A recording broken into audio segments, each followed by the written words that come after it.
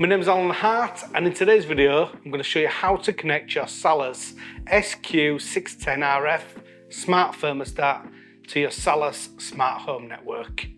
This is part of the Salus smart home range.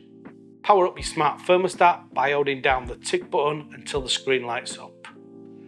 The screen will now display the language.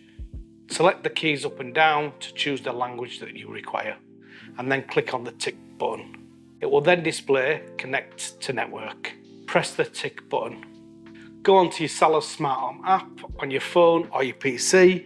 If we just click on the three lines, click onto settings, click on set up equipment, and then all we need to do then is scan for equipment.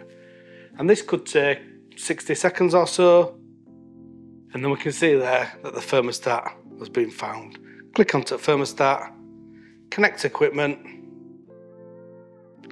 and then we can name the equipment. So on this, I'm just going to put room thermostat.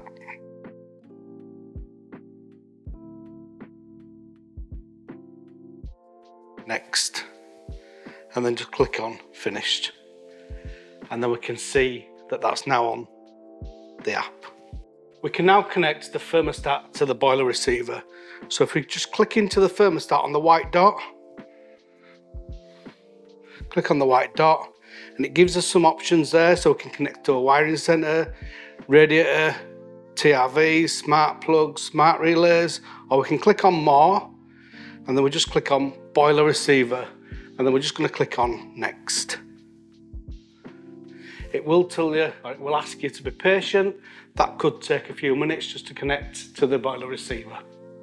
The next step now, would you like it to run a default schedule? I'm just gonna click no for the purposes of this video, and we're gonna put it into a 24 hour format. So that completes the setup. We can now test. So now what I'll do is I'll just turn the thermostat up on the app.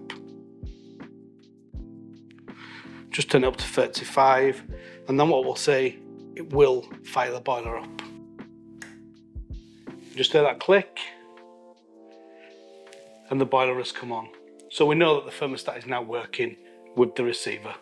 That wraps up today's video. I hope you found it useful. If you've got any questions on the Salus SQ610RF or any of the Salus smart home products, please leave a comment below. As always, like, comment, subscribe, all that good stuff and we'll see you in the next video.